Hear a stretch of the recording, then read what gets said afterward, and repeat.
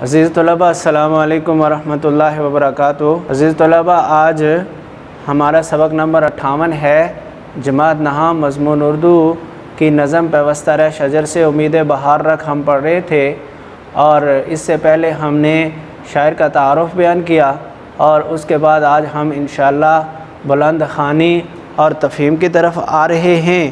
और मुझे उम्मीद है कि आपने शायर का तारफ़ जहन नशीन अच्छी तरह से कर लिया होगा और अब हम इसकी बुलंद ख़ानी करते हैं।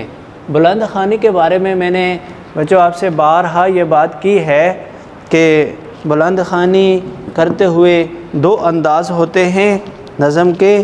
एक तो ये है कि खूब तरन्नुम से पढ़ा जाए। उसके लिए भाई बच्चों दो चीज़ों का होना ज़रूरी है।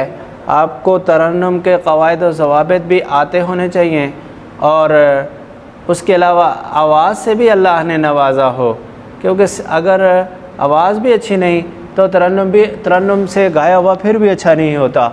और एक जो आम तरीका है जो मैं और आप हर और हर आदमी कर सकता है, वो ये कि कम अज़ कम शेर को इस तरह पढ़ा जाए कि उसके उसके जो आवाज़ है, उसकी कैफियत है, वो नसर से मुख्तलफ लगे।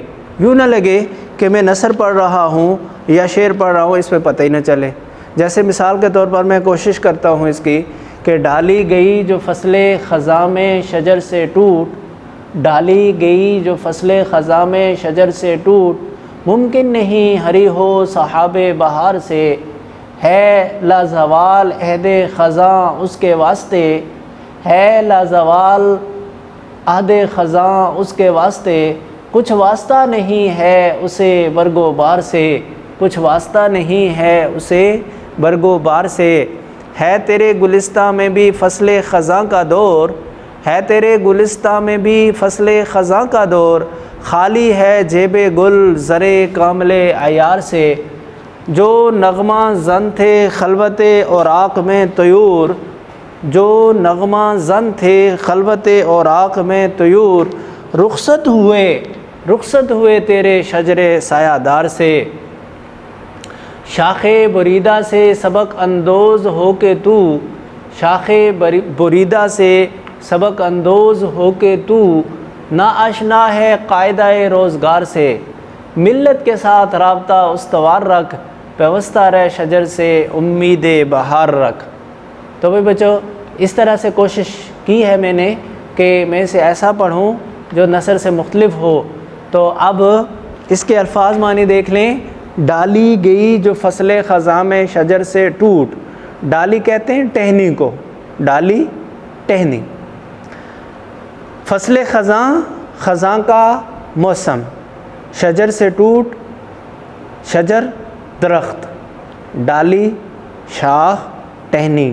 फ़सल ख़ज़ा ख़ज़ा का मौसम शजर दरख्त। तो डाली आ, वो शाख जो ख़ज़ा के मौसम में दरख्त से अलग हो जाए। वो शाख, वो टहनी जो ख़ज़ा के मौसम में दरख्त से अलग हो जाए। मुमकिन नहीं हरी हो सहाब बहार से।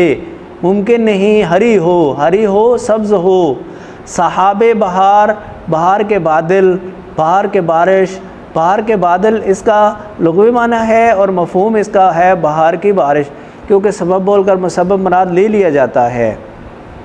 बादल सबब है ना बारिश के।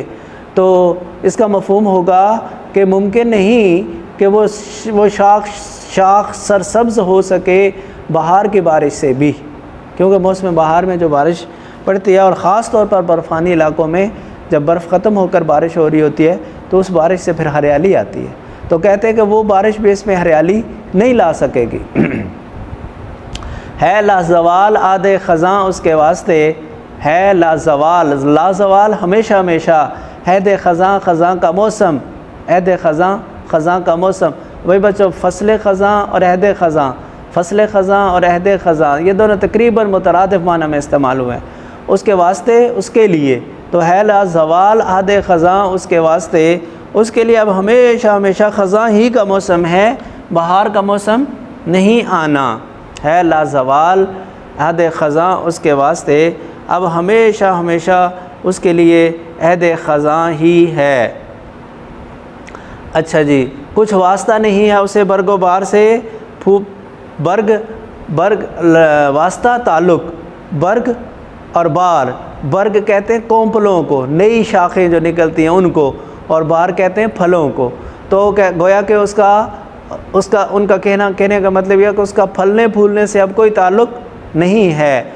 कुछ वास्ता नहीं, कुछ वास्ता नहीं है उसे बरगोबार से। अब उस शाख के शाख का फलने फूलने से कोई ताल्लुक़ नहीं है। अब शाख का फलने फूलने से कोई ताल्लुक़ नहीं है। है तेरे गुलिस्ता में फ़सल ख़ज़ा का दौर। है तेरे गुलिस्ता में भी फ़सल ख़ज़ा का दौर। अच्छा इसका लघवी माना तो ये होगा कि गुलिस्ता बाग, फ़सल ख़ज़ा ख़ज़ा का मौसम, यानी तेरे बाग में ख़ज़ा का मौसम आ चुका है। और जब बाग में ख़ज़ा का मौसम आता है तो क्या होता है? वो अपनी खसूसियात फलने फूलने वाली खो बैठता है और खुश्क होना शुरू हो जाता है। और इसका मफहम क्या है कि तेरी कौम पर जवाल आ चुका है। तेरी कौम पर जवाल आ चुका है। है तेरे गुलिस्ता में भी फ़सल ख़ज़ा का दौर। तेरी कौम पर भी जवाल आ चुका है। खाली है। खाली है जेब गुल, फूल की जेब। मुराद है फूल का दामन। फूल की जेब, मुराद है फूल का दामन। ज़र कामले आयार कहते हैं भाई बच्चों, जरदानों को। ज़र कामले अयार कहते हैं, जरदानों को, जिनको आप अंग्रेज़ी में पोलन ग्रेन कहते हैं। पोलन ग्रेन, वो जरदाने। वो जिनके जिनके जिनके एक फूल में से दूसरे फूल में मुंतकिल होते हैं और फिर जिन, जिनके ज़रिए से हमले तोलीद होता है, उन्हें कहते हैं ज़र कामले यार तो जेब गुल, फूल का दामन, ज़र कामले यार जरदाने। खाली है जेब गुल, ज़र कामले यार से। फूल का दामन, जरदानों से खाली है। है तेरे गुलिस्तान में भी फ़सल फ़सल ख़ज़ा का दौर। मफहम बता रहा हूँ कि तेरी कौम पर भी सवाल आ चुका है। और ते, और और तेरी कौम के, का हर फूल ये जरदानों से खाली है। अब इसकी पूरी तफसील और क्या मुराद है, वो इन तशरी में आपको बताएँगे। जो नगमा जन थे खलबत और आँख में तयूर, पत्तों की तन्हाइयों में, जो जो जो दरख्त, पत्ते जिसके बहुत ज़्यादा हों और घने दरख्त हों, वहाँ पत्ते, वहाँ पे परिंदे बैठकर खूब चहचहाते हैं। इसलिए कि उन्हें अपने तहफ़ का एहसास होता है, उन्हें पता होता है कि यहाँ हमें कोई छेड़ नहीं सकेगा। तो वो जो परिंदों का चहचहाना है, उसके साथ तशबी दी है, उन लोगों को जो अल्लाह के सामने इस उम्मत के लिए, इस कौम के लिए रोना धोना जिनका मशगला है, जो नगमा जन थे खलबत और आग में तयूर वो वो लोग जो तन्हाई में इस कौम के लिए अल्लाह से दुआएँ किया करते थे, तयूर परिंदे भी माना है, परिंदे। और मुराद हैं वो लोग जो नगमा जन थे। नगमा जन थे, अल्लाह के सामने, अल्लाह के सामने दुआएँ करते थे इस उम्मत की कामयाबी के लिए। जो नगमा जन थे, जो, यानी मफहम अब यूँ होगा कि जो जो जो नगमा जन थे तयूर खलबत और आक में, जो लोग अल्लाह के सामने इस उम्मत के लिए दुआएँ करते थे अपनी तन्हाइयों में, जो नगमा जन थे, जो दुआएँ करते थे। खलवत और आग में अपनी तन्हाइयों में मफहम बता रहा हूँ। तयूर, परिंदे, लेकिन मुराद है लोग, इस उम्मत के लोग। तो इस उम्मत के जो लोग तन्हाइयों में इस उम्मत के लिए अल्लाह से दुआएँ किया करते थे, रुखसत हुए तेरे शजर सायादार से, तेरे साय देने वाले दरख्त से अब वो चले गए। साय देने वाले दरख्त से तशबी दी फिर कौम को। तो गोया कि तेरी इस कौम से वो रुखसत हो गए। अब वो लोग नहीं रहे जो दिन को अपने मशागिल में मसरूफ़ रहा करते थे और रात को उठकर अल्लाह के सामने दुआएँ किया करते थे इस कौम की कामयाबी का। ये है इस पूरे शेर का मफहम। शाख बुरीदा से सबक अंदोज़ हो के तू ना आशना है कायद रोज़गार से।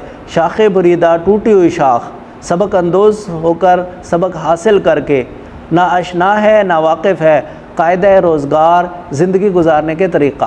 कायद रोज़गार ज़िंदगी गुजारने का तरीक़ा। तो शाख बुरीदा से सबक अंदोज़ हो के तू। शाख बुरीदा से टूटी हुई शाख से सबक हासिल करके भी नाशना है कायद तू। तू नाशना है कायद है रोज़गार से।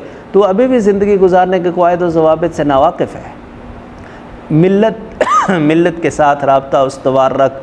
व्यवस्था रह शजर से उम्मीद बहार रख। मिलत मुसलमान कौम, रबता उसवार रख, रबता कायम रख। व्यवस्था रह, जुड़ा हुआ रह।